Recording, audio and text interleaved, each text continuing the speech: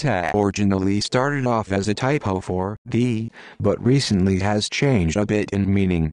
Teh still means the, however, it is mostly used in the same manner that Spanish-speaking people use the word el te. I got two cookies with teh whipped cream. Makes sense, but I got two cookies with the whipped cream. Doesn't. Get what I mean? Ta. T E A. Te.